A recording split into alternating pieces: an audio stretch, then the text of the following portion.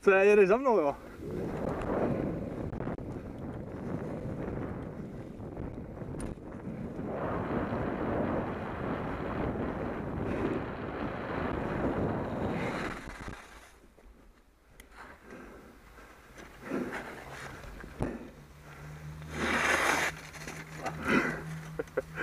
Ech. Teraz